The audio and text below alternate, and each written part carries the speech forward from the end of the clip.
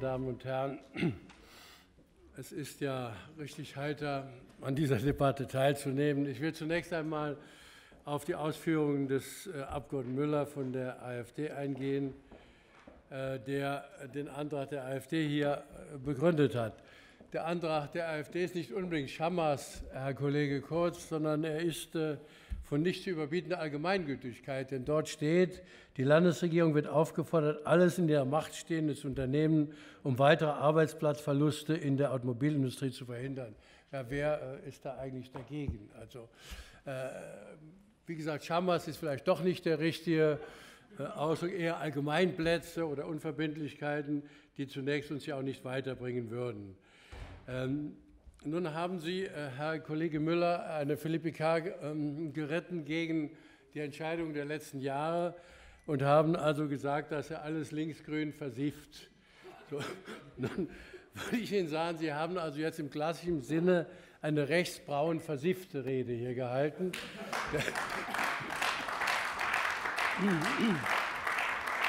denn, denn versifft heißt ja verschmutzt, das werden Sie wissen, also verschmutzt ja, also rechtsbraun verschmutzt. Und dieses, diese rechtsbraun versiffte Rede äh, ist so zu begründen, meine Qualifikation, dass Sie eben hier eine Rede gehalten haben, die sich gegen alle Grenzwerte gerichtet hat. Und das ist eben, ja, gegen die gelten, meinetwegen. Das ist nur wirklich, ja, das ist nur wirklich versifft, also verschmutzend, also im wahrsten Sinne des Wortes. Ich bemühe mich ja, für Argumente einzugehen. Und von dieser Verschmutzung müssen Sie loskommen. Denn äh, da Sie auch kein einziges kritisches Wort an die Adresse der Automobilwirtschaft gerichtet haben, setzen Sie sich ja auch dem Verdacht aus, dass Sie hier, weil wir eben so schön bei äh, Rechtsbraun versifft sind, dass Sie hier in Industrieinteressen vertreten und Arbeitnehmerinteressen nur vorschieben. Wir sind hier als Parlament gehalten, eben auch äh, wirklich die Industrie zu kritisieren, wenn sie sich falsch entwickelt hat. Und bei Ihrer Rede musste ich denken, ich war zufällig auf dem Dorotheenfriedhof in Berlin gestern. Dort habe ich Brecht gesehen, dort habe ich Hegel gesehen, das Grab aber auch John Hartfield und musste bei Ihrer Rede jetzt an diese berühmte Grafik der Sinn des Hitlergrußes denken. Da stand nämlich hinter Hitler ein sehr anonymer Mann, der also dann das Geld in die Hände von Hitler gelegt hat. Also ich bin ein Gegner anonymer großer Parteispenden. Deshalb musste ich, bei, als ich Ihrer Rede zugehört habe, musste ich an diese berühmte Grafik von John Hartfield denken. Es ist, äh, äh, es ist also jetzt wirklich nicht zulässig, dass man hier die äh, Grenzwerte überhaupt in Frage stellt. Und selbst wenn man also auf die Begründung der AfD, ich will das dann aus, aus Jux mal tun, eingeht und sagt, der Klimawandel ist nicht unbedingt menschengemacht. Ich gehe jetzt mal darauf ein dann wäre äh, aber immer noch dem entgegenzuhalten, dass wir in den Straßen hier, und das ist wirklich unstrittig, ich habe auch noch keinen AfD-Politiker gehört, der das bestritten hat, dass wir in den Straßen hier ja eben bestimmte Schadstoffkonzentrationen haben, dass da eben Menschen sich bewegen und dass da auch eben Baby, äh, Babys mit Kinderwagen gefahren werden. Und es hat noch keiner ernsthaft versucht zu bestreiten, dass im Interesse der Gesundheit der Bevölkerung die Grenzwerte in der Möglichkeit eben immer höher angesetzt werden, um die Menschen zu schützen. Und deswegen nochmal, das war rechtsbraun versifft, was Sie hier vorgetragen haben.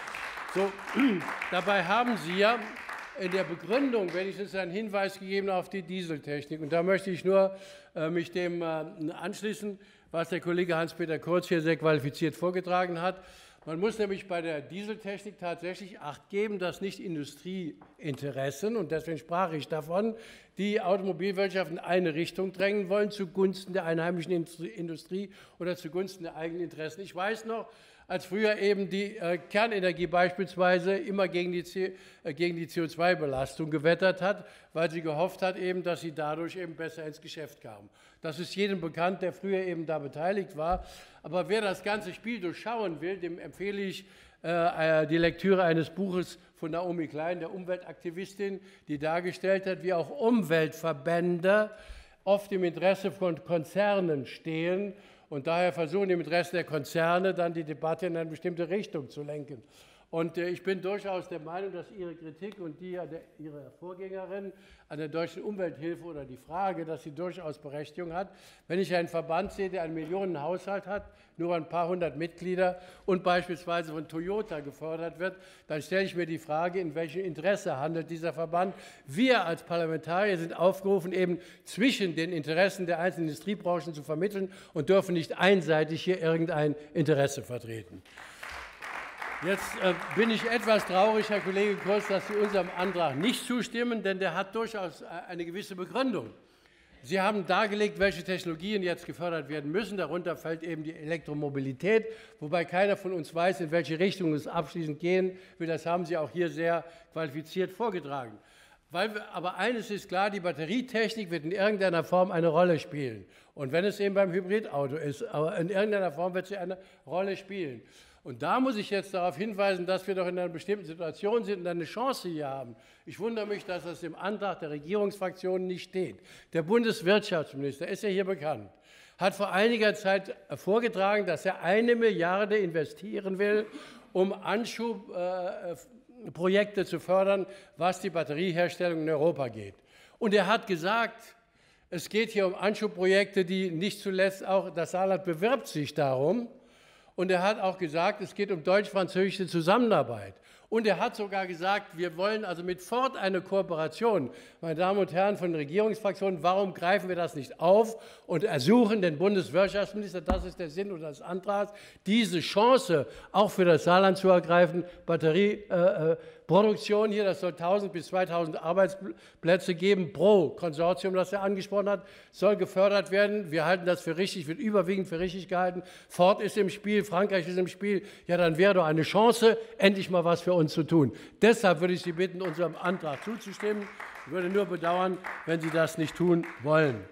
Generell möchte ich noch sagen, dass wir hier dieses Thema der Automobilwirtschaft an der Saar ja nicht jetzt zum ersten Mal hier aufrufen. Als wir hier noch montanlastig waren, so hieß das, die Älteren wissen noch, dass wir mal über 60.000 Arbeitsplätze im Bergbau hatten.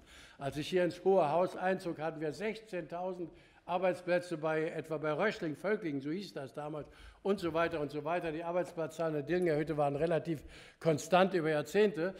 Dann wurde die Automobilindustrie groß und dann hat man dann irgendwann gewarnt, wir sind vielleicht zu lastig, was die Automobilwirtschaft angeht. Das war eine Diskussion quer durch die Wirtschaftswissenschaften und auch äh, Vertreter der Wirtschaftsverbände haben dies gesagt. Wir haben jetzt, das haben Sie in Ihrem Antrag angeführt, 44.000 Arbeitsplätze hier an der Saar in der Automobilwirtschaft.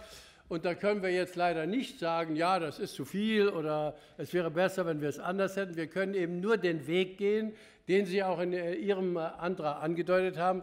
Wir müssen alles versuchen, dass wir im Wettbewerb mit anderen mithalten. Und das ist der Konsens hier, soweit ich das sagen darf im Haus. Das heißt aber nicht, dass wir rechtsbraun versifft, ich benutze Ihre Sprache, gegen also Grenzwerte zu Felde ziehen, sondern dass wir darauf drängen, dass günstigere, umweltfreundlichere Produktionen auch hier an der Saar entwickelt werden. Das ist doch die einzige Schlussfolgerung, die wir haben können. Und leider hat eben Ford es versäumt, nach den Statistiken, die uns vorliegen, entsprechende Abgasmotoren zu, also entsprechende Motoren zu entwickeln, die eben sehr niedrige Werte haben. Leider ist die Durchschnittsgröße in der Ford-Produktion relativ hoch. Das ist eine Herausforderung. Das ist keine äh, Verantwortung der Arbeitnehmerinnen und Arbeitnehmer, das ist eine Verantwortung des Managements, die also früher hätten erkennen müssen, was sie jetzt sagen, dass sie in die umweltfreundliche Produktion einsteigen müssen und dass sie eben dann nur eine Chance haben, sich längerfristig zu behaupten. Dazu kommt natürlich noch, dass wir hier gegenüber Ford sagen müssen, wir haben an der Saar Vorleistungen gebracht. Auch das könnte beispielsweise dann die Landesregierung, aber auch der Bundeswirtschaftsminister in solchen Diskussionen vorbringen. Das ist dieser Automobilzuliefererpark, den wir aufgebaut haben, in Abstimmung damals mit der Geschäftsführung und in Abstimmung damals, ich habe es hier schon mal erwähnt, sogar mit der äh, Leitung des Ford-Konzerns in Detroit. So, jetzt wäre eine einmalige Chance, deswegen habe ich das hier gesagt, diese Anregungen aufzugreifen und für die Saar nutzbar zu machen. Ob das was wird, das weiß ich ja nicht. Aber versuchen muss man es zumindest. Und dass ein Bundeswirtschaftsminister die Chance hat, Investitionen hier ins Saarland zu lenken, das wird ja wohl niemand hier ernsthaft bestreiten wollen, der die Geschichte des Landes kennt, der das Wort überhaupt angesiedelt worden ist, war ein Zusammenwirken damals der Landesregierung mit Ludwig Erhard. Also warum sollte Die Büste steht ja im Bundeswirtschaftsministerium. Alle haben sich irgendwie als Ludwig Erhard begriffen. Also der kräftige Ludwig Erhard von der Saar, nicht auch mal irgendetwas hier für unser Land tun, das wäre zumindest der Wunsch meiner Fraktion, meine sehr geehrten Damen und Herren. So, ähm, ich fasse also zusammen. Uns kommt es darauf an, deutlich zu machen, dass es nicht nur darum geht, wie Sie auch, zu sagen, wir brauchen eine umweltfreundliche Technik in der Automobilwirtschaft. Da sind wir einig wäre völliger Unsinn, dass irgendjemand was anderes hier fordern würde und wie gesagt, rechtsbraun versifft eben das Gegenteil fordern würde. Es geht darum, eben die Zeichen der Zeit zu erkennen, zu wissen, dass keiner von uns genau weiß, welche Technologie sich durchsetzen will, aber dass wir eine Chance vielleicht ergreifen müssen. Und in diesem Sinne bitte ich Sie, wir werden Ihrem Regierungsantrag selbstverständlich zustimmen, vielleicht auch dem Appell, an den äh, Ludwig Erhard von der Saar, den wir hier verborgen haben, zuzustimmen, dass wir eben wirklich vom Saarland, äh, vom Landtag aus sagen, bitte, jetzt engagier dich mal für dein Heimatland und tu was für die Beschäftigten bei Ford. Du hast Ford genannt, du hast die Grenze genannt, eine einmalige Chance. Ich danke Ihnen für Ihr Aufmerksamkeit.